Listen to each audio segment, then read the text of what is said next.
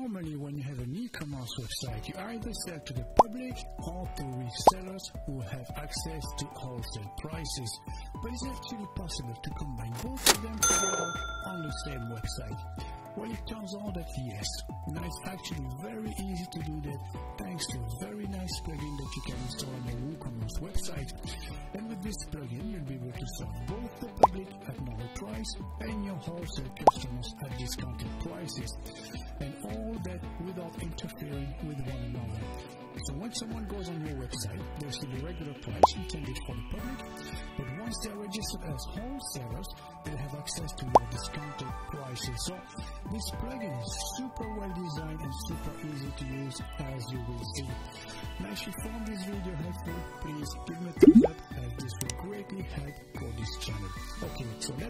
further and let's dive right into it. And welcome to our demo website here. So it's a full-blown e-commerce website for cosmetic products. So as you can see here, this website is for end users, so B2C, but maybe you want to create a B2B section where only wholesalers can actually purchase these products. Maybe trade only, maybe you're selling to beauticians and beauty salons in your area as well, and they obviously won't get access to the same pricing as uh, end users. So you might want to create a separate uh, section just for this, and I'm going to show you how to do this now. And for that, we're going to use the, the WooCommerce wholesale area. And the main feature is this, as you can see, add wholesale to your public store. You'll get a hidden area that only wholesale users can see with wholesale registrations, roles, B2B discounts, and a quick order form. So this is a very effective plugin indeed for this type of situation. So let's go ahead and install that on our WordPress uh, dashboard. So welcome to our WordPress dashboard now.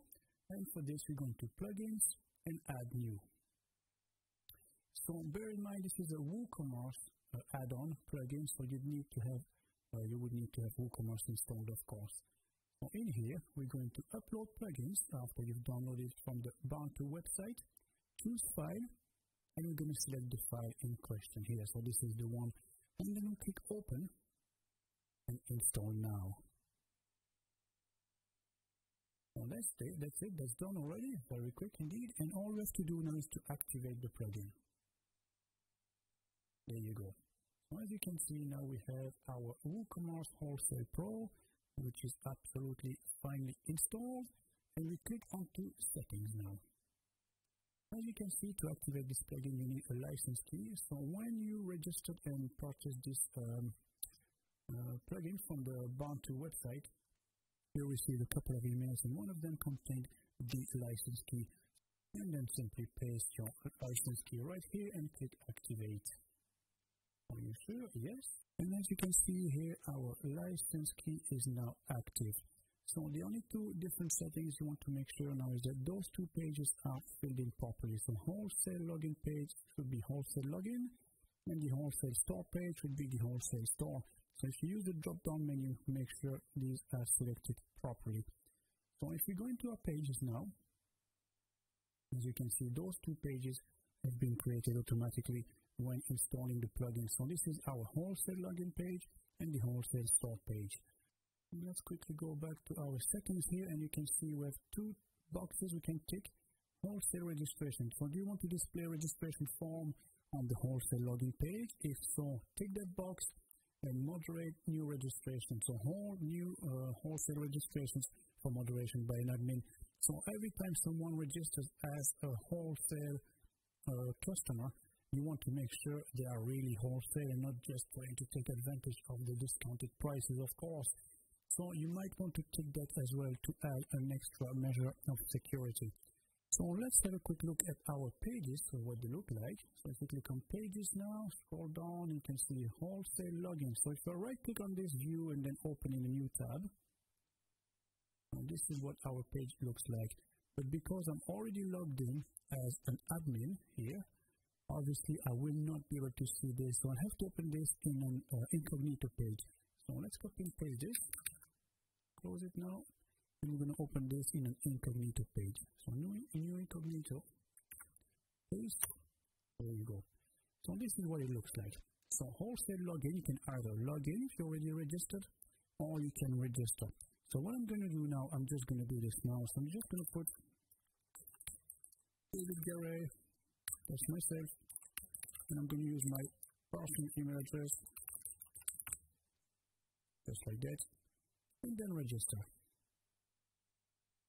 So your registration has been submitted successfully. And your new customer will receive an email immediately that looks like this. So your wholesale registration is awaiting moderation. So thanks for registering for the wholesale store. Your request has been held for moderation and we will contact you soon. So immediately after this, you can go yourself into the backend and decide if you want to activate it or decline the registration. So how do you do that? It's very simple. Click on users. And as you can see, we have two users here. We have David Garay. And as you can see, this one, the role is currently pending. So you can either approve or reject. So if you want more details, simply click on it.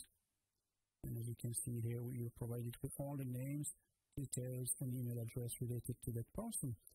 So it's up to you after this. So if you want to approve it, it's fine, or reject it. So approve account, update user, that's it. If you go back into users now, as you can see, this one is a wholesale user indeed. So let's go back quickly to our registration form. As you can see at the moment, all you have is username and email address. But maybe you'd want to make sure these are really wholesale people, you know, just to make sure. So maybe you want to ask for maybe the company name, their location, and maybe a web address. So how do you do this? Very simply, it's very well thought out actually. So if we go back to WooCommerce settings, and we go into wholesale, as you can see, we have registration fields right here. So if you click on this, you can add fields. So you could ask company, a business name, full address, or maybe location. Location in brackets, city and town, so you can Google them, you know, after that. And then uh, website. That's it. So by adding three other fields, you can make sure that these are really uh, wholesale people, you know, not just taking advantage of the discounted rates. So just save registration fields, yes. There you go. So now if we go back to our registration page and refresh, as you can see now we have company, business name, location, and website. But as you can see, our fields are optional at the moment, so you might want to make this mandatory. So how do you do this? Uh, make them required. It's very simple. If you want them to be required, just tick those boxes next to it. So you want to make sure that maybe the website could be optional. Maybe not all the businesses have a website, but usually it's 2021. Uh, they should have one normally, you know. So anyways, we click Save Registration Fields, say yes, and then we're gonna back here, and if we refresh once more,